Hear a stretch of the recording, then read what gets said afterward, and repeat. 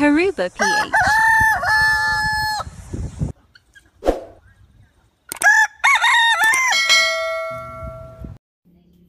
Hello mga karuba and welcome ulit sa ating Pinas Vlog kay Karuba PH. Ayan, good afternoon mga karuba. Ayan, so kamusta kayong lahat at magandang buhay ulit sa inyong lahat. Ayan, so to this video guys, uh, gusto kong i-share sa inyo kung paano makatipid ulit tayo ng ulam. At tipid tips talaga mga karuba. Siyempre, alam ko na mayroon at marami sa inyo sa likod bahay nito. Ayun, ang kilawin na labong. Ayun, sa mga interesado, yan bakit kinikilaw ang labong yan? Panoorin mo to kung paano gawin ni Karuba ang kilawin na labong. Ayan, naimas datoy na si Dagayam. And masarap ito mga kaibigan, ang uh, kilawin labong. So, sa mga interesado at hindi pa nakasubscribe kay Karuba at gusto mong malaman ng mga tipid tips na ulam mula sa akin, ayan, don't forget to subscribe, like at mag-comment sa aking videos kung paano to gawin. Ayan, sa hindi pa na marunong mag-ulam nito, ayan, ang ulam na kuripot, ayan, basta mayroon kayo sa bahay nito, basta tag-ulan, ayan, so kilawin na labong, yung hindi lang yung kinikilaw, Ah, alam yung gawin na kilawin na kambing, ayan, ito naman po ay labong o tinatawag nilang bamboo shoot. Ayun. So, kung sa kayong lahat at welcome, welcome ulit sa ating kusina kay Karuba PH. Ayun. So, um, tara na at atin na gawin ang ating kilawin na labong guys. labo. Atin po siyang nilaga kanina. Nilaga ko po siya ng 20 minutes, guys. Tapos, eh, iniwan ko siya for 5 minutes para ano po siya. So, actually, ito ay naluto na. So, iahon lang natin, ahonin natin siya sa tubig at uh, banlawan siya para hindi siya magkalasang labong. Or di kaya, kasi iba-iba yung labong natin guys eh. May mapait at hindi. So, ito yung hindi siya mapait guys. Ayan. So, ito na yung uh, naluto na. Ahonin lang natin at hugasan natin. So, hugasan natin siya mga karuba. Kunti lang yung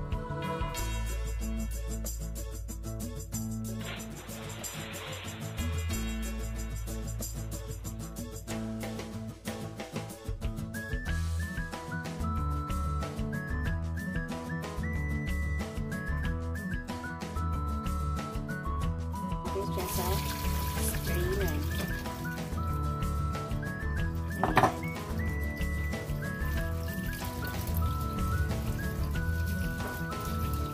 Yan, pag nahugasan na siya guys, yan, tanggalin lang natin yung tubig, tubig niya. Salain natin yung tubig, tapos lagay natin na ganyan. So, naisala na po siya guys. Ilagay po natin sa pinggan yung ating labong. Tapos, yan. Ito na po yung labong natin na nilaga guys. Tapos, lagyan po natin siya ng sibuyas.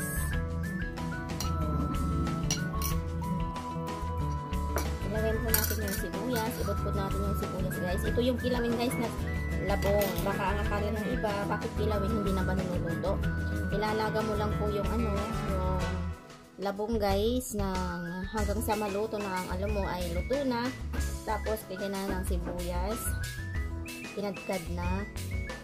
Luya. Yan yung ating pong ingredients na ating pong uh, gagawin.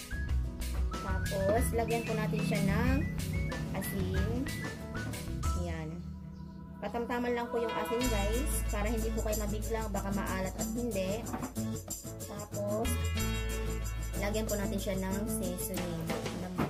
Yan po itong pampalasa guys. Depende kasi yung ibang ginagamit po na is magic sarap. Pero ang magic sarap niluluto po. Yan. Tapos ang ating pong lemon. Ilagay po natin lahat muna yung ating ingredients bago natin po yan. So squeeze po natin itong ating lemon sa isang bowl. So squeeze natin siya guys.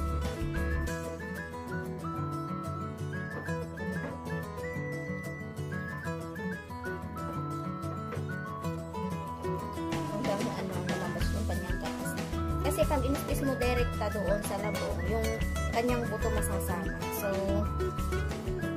kailangan natin siya ng drainer. Yan, depende po sa lemon nilalagay nyo guys. Kung gusto nyo nang napakaasim, pwede, pwede rin ilagay nyo ng buong lemon. Pero ang atin pong uh, inilagay is ang kalahati lang. So, ito na po yung kanyang sabaw guys. So, iahahalo natin siya.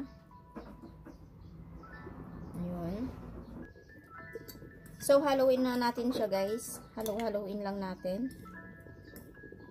Yan. May nakalimutan po tayong ilagay na sangkap. Ang atin pong siyang paminta. Ayan. Paminta. Ito yung ating paminta guys. Ayan. Lalagyan po natin ng kahit ano, yung durog. Yung powder na po to siya guys. Ayan. Ito yung pamintang white na puti. Yung talagang mahanghang. Ayan, wala dito sa Pilipinas. Yung paminta na yan, yung kulay puti. Yan, in-order ko pa from Indonesia po guys. Yung paminta na yan. Ito. Sa kilawin at saka sa atsara, magkaiba po yun guys. Yung atsara. Yung atsara kasi is nilalagyan po siya ng tawyo. Pero ito siya guys is kilawin. So, tikman natin siya guys. Kung okay na yung kanyang lasa. Hmm? Okay na siya. Lagyan pa natin siya ng konting asin. Hindi po kumagat yung asin na nilagay ko natin. So, dagdagan natin ulit.